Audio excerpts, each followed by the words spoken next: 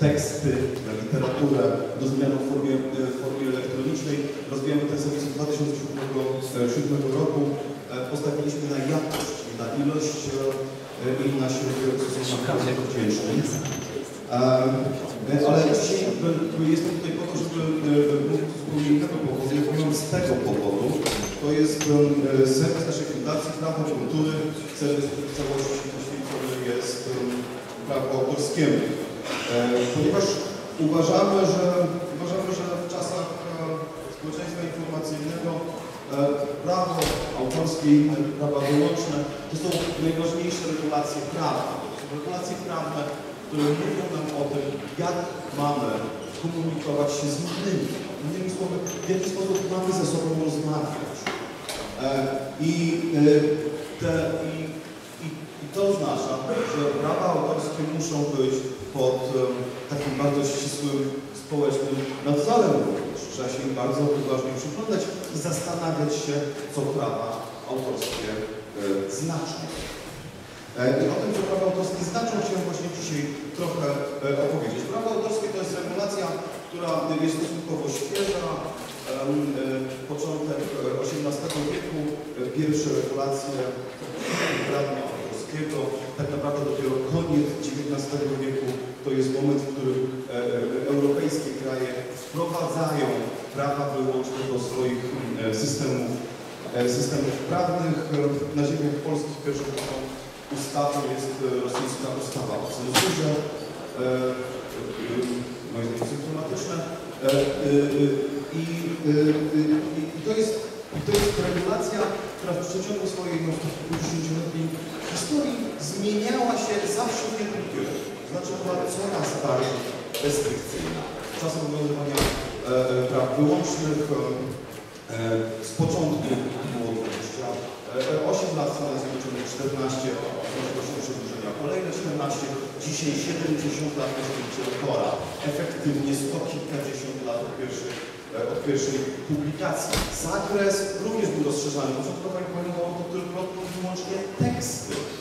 Dopiero tak naprawdę w XX wieku rozszerzono to na, muzykę, na filmy, na materiały wizualne. I tak dalej, i tak dalej, i tak dalej. Historia autorskich to jest historia zwiększania, zwiększania restrykcji.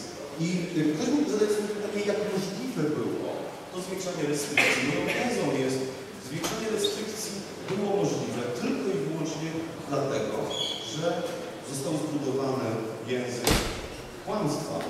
Język, który usiłuje nas przekonać, że natychmiast, że poprzez to, że możemy mniej, możemy więcej, że restrykcje są w jakiś sposób dla nas, dla nas dobre.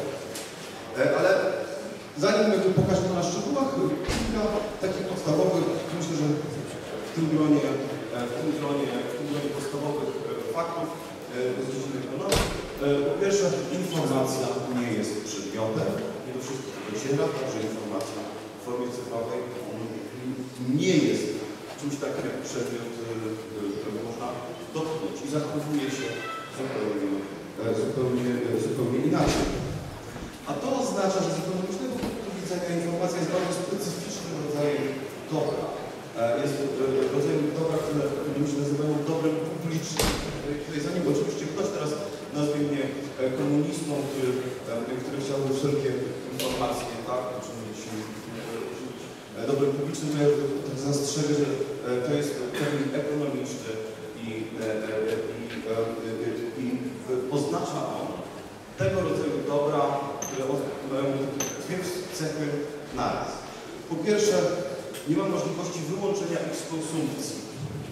Nie ma naturalnego ani sztucznego sposobu, w ludziom zabronić korzystania z tego dobra. Takim dobrem jest na przykład powietrze. Tak? Powietrze jest dobrym przykładem dobra, gdzie no, oczywiście moglibyśmy próbować komuś zakazać oddychać, ale w praktyce jest to niemożliwe.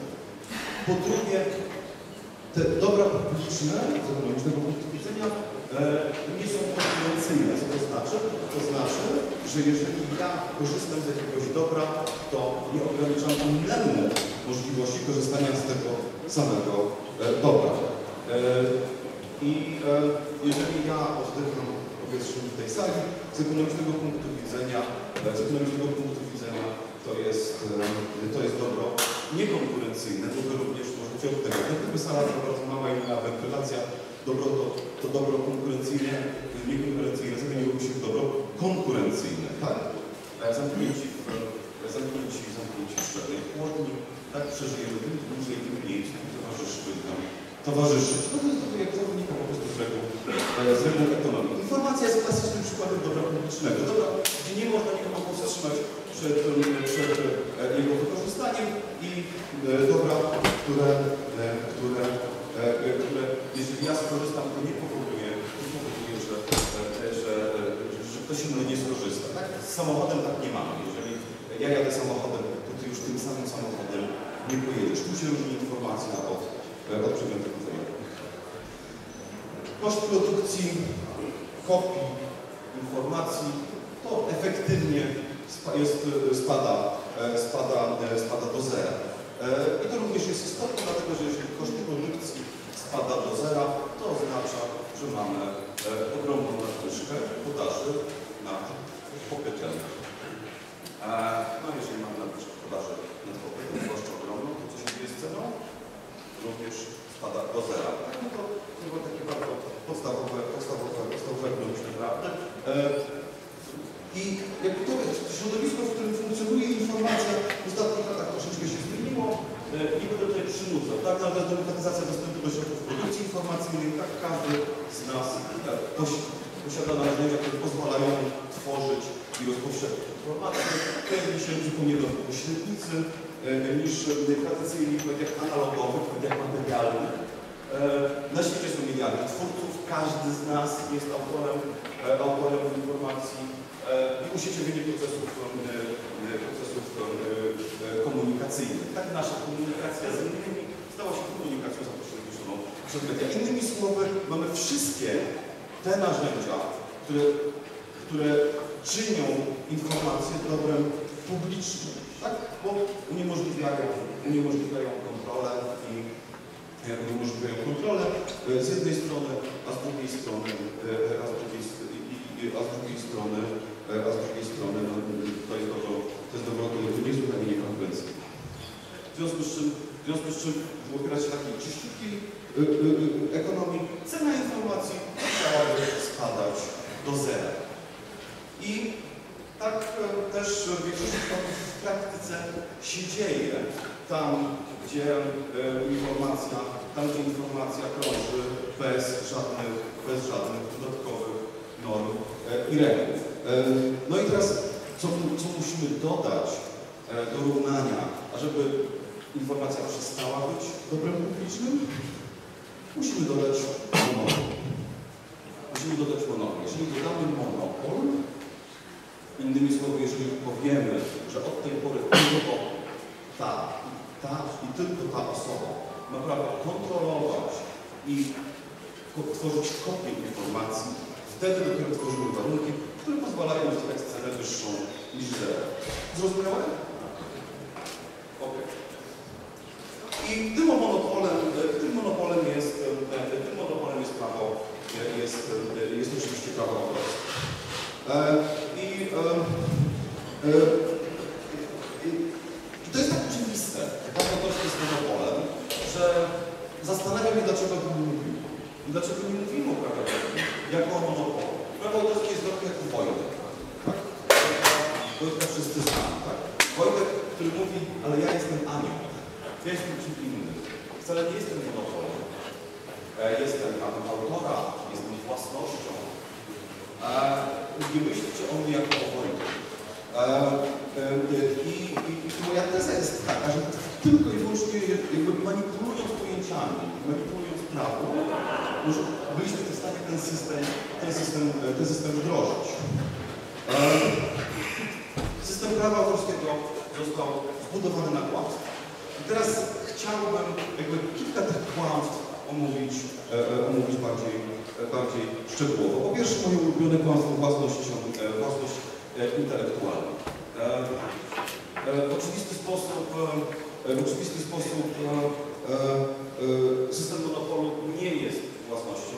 I ekonomiści, e, i ekonomiści co do tego się e, zgadzają. Zgadza się co do tego także większość prawników, a jednak e, mm, od kilkudziesięciu lat termin własność intelektualna, który nie pojawia się bynajmniej w ustawie, nie pojawia się w prawie, z prawnego punktu widzenia nie miałby sensu, pojawia się w rządowym dokumentach, pojawia się w dyskusji publicznej. Dlaczego? No dlatego, że jeżeli mamy zdanie także, że własność intelektualną należy chronić, to my czujemy e, intuicyjnie, że własność należy chronić. To jest jeden z fundamentów e, e, nowoczesnej liberalnej demokracji. Ale jeżeli podmienimy to na prawdziwe zdanie, monopol trzeba chronić, hej, monopol trzeba chronić. Nie, monopolu trzeba się pozbywać. I e, ta manipulacja językiem umożliwia zwiększanie restrykcji tego, e, tego, e, tego systemu. E, o tym, że to jest monopol, nikt nie miał wątpliwości tak naprawdę od samego początku tej regulacji. To jest e, e, wystąpienie z roku 1773 w e, szkockim, w szkockim parlamencie, tak, w którym czytamy, że kiedy wprowadzono pierwszą regulację typu prawda polskiego w Anglii, statut Anny, oczywiście pojawiły się dyskusje, czy to jest dobre, czy to ma sens. E, I, e, e, i wtedy, e, wtedy legislatorzy nie mieli wątpliwości. Tak, statut Anny jest rodzajem monopolu. Tak, a, I został wprowadzony tak naprawdę z tym argumentem, że po wygaśnięciu monopolu, który miał być bardzo krótki, te utwory staną się dostępne do wykorzystania dla wszystkich, dzięki czemu będą bardzo tanie. Znowu z ekonomicznego ta myśl miała sens, no niestety od tamtego czasu przedłużyliśmy e, no prawie dziesięciokrotnie, pięciokrotnie. Czas trwania, e, co oznacza, że nie możemy realnie oczekiwać, że ten mechanizm, o którym, o którym mówi Lord Keynes, że on faktycznie zadziała. E, dlatego, że Lord Keynes mógł oczekiwać, że utwory stworzone w chwili, kiedy on, kiedy on żył, jeszcze za jego życia, przejdą do domy publicznej, przestaną być przedmiotem praw wyłącznych. My takiej nadziei mieć nie możemy. Jeżeli dzisiaj twórca coś tworzy, to nie tylko my, ale też nasze dzieci już dawno będą martwe, zanim ten okres, e, okres, okres ochrony się skończy. Informacja jest przedmiotem. To jest drugie takie moje ulubione, e, ulubione kłamstwo. Także to jest, to ulubione kłamstwo także dlatego, że, e, e, dlatego, że bardzo często w tych miejscach, które powinny być świadome, że informacja nie jest przedmiotem, mówienie o informacji jakby była przedmiotem jest bardzo popularne. Na przykład e-book. E, e, E-book bardzo rzecz mi bardzo bliska, bo w końcu e, w bibliotece wolne lektury udostępniamy e-book. Czyż tak? No nie, nie udostępniamy e-booków, udostępniamy teksty. E-book jest terminem marketingowym, który tak naprawdę ma skłonić konsumenta, żeby zapłacił. Bo, e, bo, bo, bo konsument, który zacznie zdawać sobie sprawę, że tak naprawdę niczego nie kupuje, tylko uzyskuje dostęp, to może nagle się okazać mniej chętny, mniej chętny, mniej chętny do płacenia. A przecież to jest tylko informacja w formie zer i jedynek, dokładnie taka sama jak każda inna informacja formie zer jedynek. I tych te- terminów jest oczywiście więcej, tak? To jest telewizja cyfrowa, radio internetowe, e-gazeta i tak dalej, i tak dalej, i tak dalej. Informacja jest przedmiotem, tak? Zakłamujemy tą fundamentalną naturę, naturę informacji. E, Ponieważ e, ta dyskusja o prawach autorskich toczy się od jakiegoś czasu, my żeśmy się zamawiali e, razem z e, kolegami w tworzeniu różnego typu praw. Jednym z takich praw jest prawo Wilczyca. Ten, kto w o prawach niematerialnych użyje przykładu, metaforu, bądź analogii opartej o właściwości fizycznych przedmiotów, automatycznie przegrywa. Tak dotyczy takich sytuacji, jak na przykład, e, jak na przykład, e, jak na przykład nie kradniesz samochodów. Tak? E, Wydaje mi się, że to jest prawo, które jest bardzo pomocne w toczeniu tej debaty.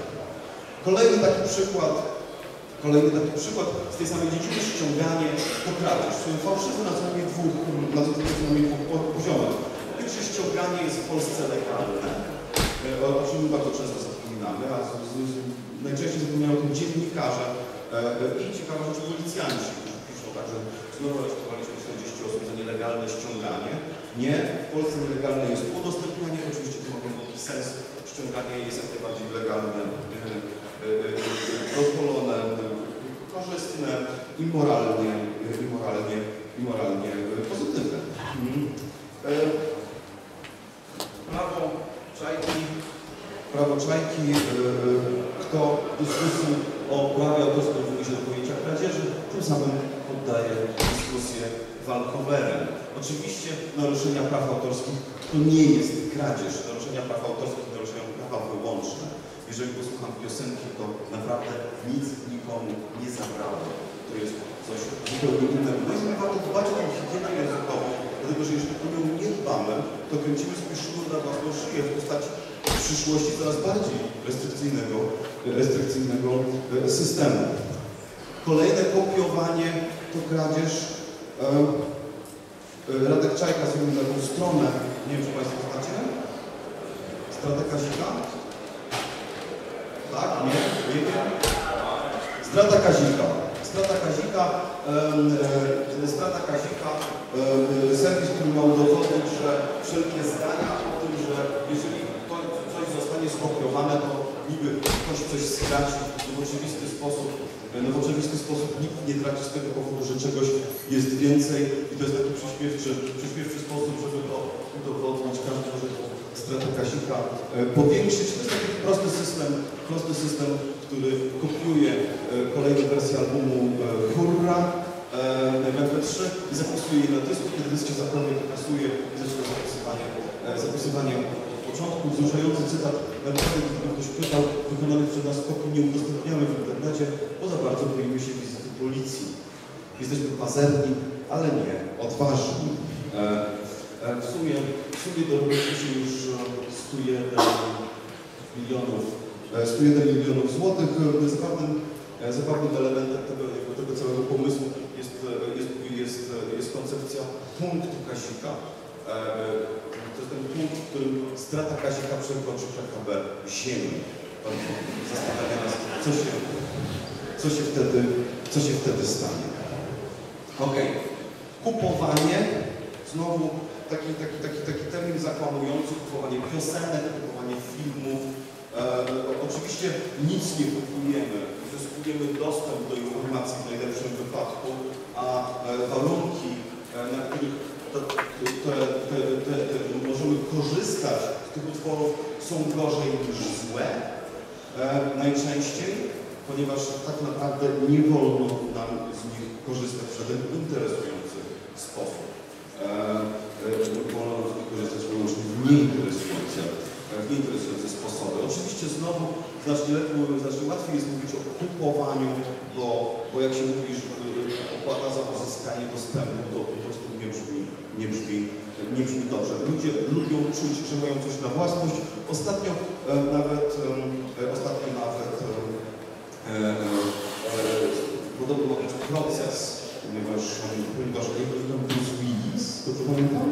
Bruce Willis się chce, chce pozwać Apple'a, kiedy dowiedział się, że nie może piosenek kupionych na iTunes przekazać dzieciom. Jak to nie może? Przecież je kupił. Nie, nie kupił. Uzyskał dostęp do bardzo kiepskich, e, kiepskich e, warunkach. Prawa autorskie to jest również termin, który sam w sobie, e, sam w sobie tak naprawdę jest kłamstwem. Prawa autorskie już od dawna nie są prawami autora. To są prawa tych, którzy posiadają prawa. I w, współcześnie zazwyczaj jest jakiś jakąś technika wydawcy, który od autora te prawa przyjmuje. Prawa wyłączne, a nie e, prawa wyłączne, a nie, e, a nie e, prawa, e, prawa autorskie. Jeszcze jedna rzecz, jeżeli mówimy o prawach autorskich, jeżeli mówimy o tej o całości tej regulacji jako o prawie autorskim, umyka nam bardzo istotny aspekt. To prawo reguluje relacje między twórcą a użytkownikiem jego utworu. Ta, to prawo ma, dwa, ma dwie strony tego argumentu. Prawa wyłączne, monopol praw autorskich, tak, czy też monopol intelektualny jest z jednej strony, z drugiej strony są nasze prawa użytkowników kultury. I dopiero te dwa prawa łącznie tworzą prawo kultury. Jeżeli będziemy mówić o prawie autorskim wyłącznie o prawie autorskim, to oczywiście będziemy głęboko przekonani, że należy, że, że, że, że rozsądnym kierunkiem zmian jest zwiększanie prawa autora. Z punktu widzenia kultury, z punktu widzenia systemu, że prawda może być dokładnie odwrotna. Być może dla, lepiej dla nas wszystkich będzie, jeżeli na przykład odmianny zaczniemy zwiększać uprawnienia użytkowników. E, ten, ten dwoisty układ tego systemu monopoli intelektualnych e, swoje odbicie na przykład w artykule 27 e, Deklaracji Praw Człowieka, tak? która bardzo precyzyjnie pokazała, że to jest równowaga praw wyłącznych i praw użytkowników. Polska Konstytucja o prawach autora w ogóle nie wspomina, czy, czy o monopolach. Wspomina wyłącznie o wolności korzystania z dóbr kultury. Prawa użytkowników, e, prawa użytkowników, bo ja tak o tym mówię, ale być może nie wszyscy, nie wszyscy, nie wszyscy specjalistami prawa autorskiego. No, prawa użytkowników składają się dwie rzeczy. Po pierwsze składa się coś, co nazywamy dozwolonym użytkiem. Dozwolony użytek to jest to, co jest zapisane w ustawie, że wolno, oraz domeną publiczną. Czyli to są te utwory, które już w ogóle przestały być pod ochroną praw wyłącznych, albo które nigdy pod tą ochroną nie były. Po prostu nie żył w czasach, kiedy jakieś dziwne obowiązywały. Kolejne moje ulubione słowo, wyjątek. Wyjątek. Jest taka tendencja, taka w dokumentach Unii Europejskiej, która mówi o exceptions, o wyjątkach, o wyjątkach zasady. Więc, a więc jak to jest, że zasadą jest ochrona, a dozwolony użytek, a nasze prawa są jakimś wyjątkiem? To, to, to nie tak. Jest dokładnie odwrotnie. Tak, bo tylko na gruncie dyskursu własności możemy dojść do takiego pomysłu. Gdybyśmy zaczęli mówić o monopolach, to monopol jest wyjątkiem. Monopol intelektualny jest wyjątkiem. Zasadą są prawa użytkownika. Jeżeli komuś dajemy jakieś szczególne uprawnienia na ściśle określony czas, w określonym zakresie, w celu publicznego dobra, to to jest wyjątek, a zasada. I, i, znowu, jeżeli będziemy myśleli o wyjątkach, o wyjątkach, o zasadzie jako o zasadzie, tak, w tym dyskursie, który, który, który, który nas obowiązuje, no to znowu będzie, tak, jeżeli będziemy coś zmieniać, to będziemy zmieniać tylko w kierunku większych restrykcji. Piractwo, chyba nawet nie muszę mówić, tak? E, taki, to, taki, taki rodzaj piętnowania moralnego tych, którzy uczestniczą w kulturze. Jakby uczestnictwo w kulturze było czymś złym, a przecież nie jest, tak? Uczestniczysz w kulturze, ty zły piraci. E, y, I y, bardzo specyficzny treści tworzone przez użytkowników, user-generated content. E, To, to jest termin, który pojawił się w Zielonej Księdze Unii Europejskiej w konsultacjach społecznych. Czy przypadki nie należały e, wprowadzić takich, takich kategorii, takich trochę gorszych informacji, takich, takich, takich, takich, które byłyby mniej chronione. To byłyby te, które są tworzone przez społeczeństwo. E, e, No, e, pomysł, pomysł, pomysł e, skandaliczny. I teraz, e, I teraz w związku z tym, że definiujemy sobie, że walka o przyszłość tej regulacji toczy się na poziomie języka, dużo zajmujemy się Fundacja Nowoczesna Polska e, wymyślaniem różnego typu, e, różnego typu, różnego typu memów. Jednym z takich, które byłoby łatwo zapamiętać, które jakby pokazywałyby w łatwy sposób e, e, e, wartości, na których nam zależy. E, To, co Państwo widzą, to jest adaptacja czterech wolności Starmana, potem obecnych definicji wolnych dóbr kultury, które mówią, jakie powinny być, jakie powinny być prawa użytkowników kultury. Powinno być prawo dostępu, prawo rozpowszechniania, prawo tworzenia adaptacji utworów, czyli tak zwanych utworów zależnych. Tak, e, wystarczy wejść na te motory, żeby zobaczyć, dlaczego to prawo jest ważny do rozwoju kultury. I oczywiście prawo do rozpowszechniania, do rozpowszechniania tych adaptacji. Dopiero jak zdefiniujemy sobie rzeczywiste, realne potrzeby społeczne, rzeczywiste, realne potrzeby użytkowników, dopiero wtedy będziemy w stanie kształtować nasz system prawny jakby w zgodzie ze społecznymi e, e, oczekiwaniami. E, Kolejnym takim memem, e, którym się trochę zajmowaliśmy, to zrozumienie, dlaczego ten system tak dramatycznie rozjechał się z rzeczywistością. Dlaczego wszyscy, jak siedzimy na tej sali, e, łamaliśmy kiedyś, być może łamią nawet w tej sekundzie, jakieś prawa, e, prawa wyłączne. E, I znowu tak naprawdę to nie jest specjalnie trudne w czasach, kiedy informacja była przedmiotem, za każdym razem była książką, płytą e, czy czymś tam jeszcze. E, To, co legalne, to, co akceptowane, to, co możliwe, były w zasadzie tym samym. Dopiero po oderwaniu informacji od, od przedmiotu nagle te warstwy nam się, nam się, nam się rozjechały. Co możemy zrobić? Prawa wyłączne nie są systemem wykutym w kamieniu i jak każde prawo możemy, e, możemy je zmieniać. Tak? To są te płaszczyzny elastyczności, które, które mamy. Możemy wydłużać bądź skracać czas obowiązywania praw wyłącznych. Możemy zmieniać zakres tego, co jest obejmowane e, ochroną. Możemy rozszerzać bądź też zawężać zakres dozwolonego użytku, czyli tego, co wolno obywatelom. Możemy zmieniać bądź rozszerzać zakres, e, zakres dozwolonego użytku instytucjonalnego, tego, co wolno instytucjom. Tak? Biblioteki jeszcze dziś są legalne, ale przecież już jutro możemy je, czyli teoretycznie, zdelegalizować. Tak? Pojawiają się takie pomysły wprowadzenia opłat za wypożyczenie książek w bibliotekach. Wiedzą Państwo o tym? Takich zwykłych, z kamienia, z papierowymi książkami. E, kontrola, możemy mniej lub, lub mniej lub bardziej kontrolować to, co ludzie robią z informacją. W świecie praw, totalnych praw wyłącznych e, nadzorowany jest każdy akt wymiany informacji w sieci. Jest to jedyny możliwy sposób wdrożenia paradygmatycznego pomysłu o monopolu, tak? żeby ko- kontrolować każdy wymianę informacji w sieci. Wszystko filtrować, wszystko obserwować, wszystkich punkt piąty ścigać, karać e, bardzo surowo. Bez aparatu państwowej przemocy wdrożenie monopolu jest przecież niemożliwe. Język własności betonuje nam te. Jeżeli będziemy posługiwali się językiem własności, to uczynimy zmianę niemożliwą.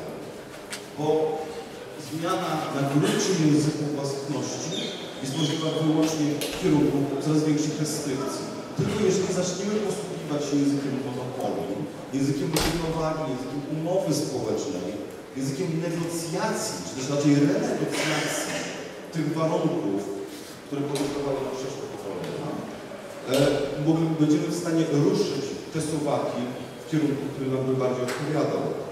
E, czy nam się uda? To przygotow- znowu kolejna, kolejne, kolejne zajęcia z menotwórstwa. E, Przygotowaliśmy takie krótkie testy. Test ZOSI. E, Test ZOSI polega, e, polega na tym, że e, jeżeli Zosia znajduje w sieci zdjęcie kwiatka wrzuca go na swojego blogasta, to powinno być po prostu normalnie legalne. Tak? Wszelkie niekomercyjne wykorzystania chronionych prawem utworów powinny być po prostu legalne. Jeżeli uda nam się zmienić system tak, żeby Zosia e, e, nie, nie, nie, nie żyła pod groźbą, e, pod groźbą procesu e, i surowej kary w Stanach Zjednoczonych do 50 tysięcy dolarów za, za piosenkę, to jest konkret. W Polsce mniej, na szczęście. E, e, Jeżeli uda nam się do sytuacji, że Zosia będzie legalna, to będzie moim zdaniem nieźle. Drugi test, test Wikipedii, wykorzystanie środków publicznych, informacje tworzone z funduszy publicznych, czyli naszych pieniędzy, które my płacimy, naszych podatków rządowi, powinny być zawsze dozwolone do dowolnego wykorzystania dla każdego bez żadnych ograniczeń. Kropka. E, To jest test na, to jest test na, e, e, dla naszej administracji publicznej. Albo nam, znowu, dzisiaj nie mamy takiej sytuacji, państwo za nasze pieniądze tworzy informacje, a potem odmawia nam prawa do ich wykorzystania, to się powinno zrobić. Tak czy siak kluczowy pozostaje język. Do czego chciałbym Państwa namówić dzisiaj, to do tego, ażeby zaczęli Państwo zwracać uwagę, jakim językiem mówią i czy nazywają rzeczy po imieniu. Dlatego, że to po prostu jest ważne. E, I, e, e, i wydaje mi się, wydaje mi się że, że w miarę jak coraz więcej będziemy korzystać z e, sieci do komunikacji z innymi, tym bardziej fundamentalny dla naszych podstawowych praw i wolności ten problem, ten problem, e, ten problem będzie. I o tym piszemy e, na stronie e, Prawo Kultury i będziemy także zamieszczać rozliczne materiały edukacyjne. Wczoraj, wczoraj zamieściliśmy książkę Filipa Gremu, książkę pod angielskim sharing, po polsku dzielenie się, niezbyt zgrabne, nie znaleźliśmy nic lepszego. Książkę, w której Filip Grem usiłuje zbudować taką koncepcję takiego alternatywnego systemu, który, byłby, który by działał, a który nie byłby tak przesadnie, tak przesadnie restrykcyjny. Bardzo Państwu, bardzo Państwu dziękuję za, za uwagę. Fundacja, Fundacja Nowoczesna Polska jest organizacją pozarządową, która z pewną przyjemnością pracuje z różnymi partnerami, więc jeżeli Państwo są zainteresowani, to zapraszam do kontaktu ze mną na uwagę. Nie wiem, czy mam jeszcze czas na pytania, czy ten czas się już skończył. Ogólnie to e, może ten temat, ale myślę, że na nasze pytania się nie Okej, trzy pytania.